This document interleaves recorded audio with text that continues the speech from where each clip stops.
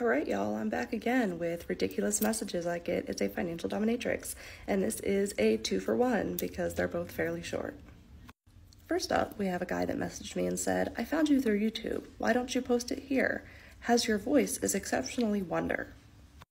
I'm guessing English is not his first language, but what he meant, presumably, is why don't I post video content on my Twitter or audio content because my voice is wonderful.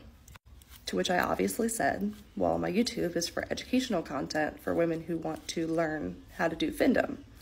This is where I advertise being a Dom myself, and I'm not interested in broke or cheap subs hearing my voice for free. To which he just said, okay. So I blocked him. And then we have this guy who came off super creepy and said, watching you, dot dot dot. I've been a sub for over two years. Is it just for women or can men also do Findom? Because this is a really horrible kink.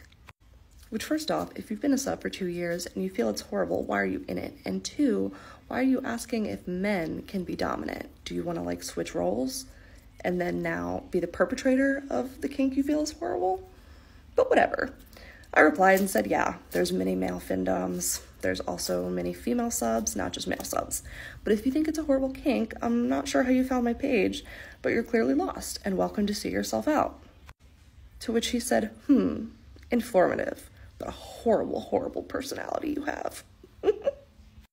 to which, of course, I obviously instantly blocked him as well.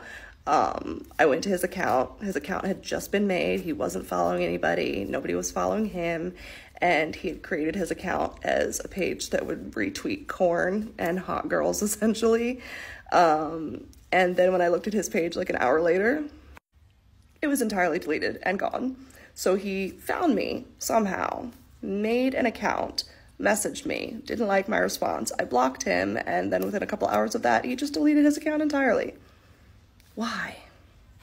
And why do I waste my time replying to these messages, you may ask?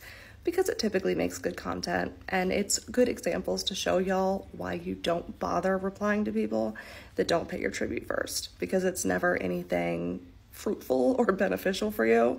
It's just ridiculous nonsense like this that's entertaining at best.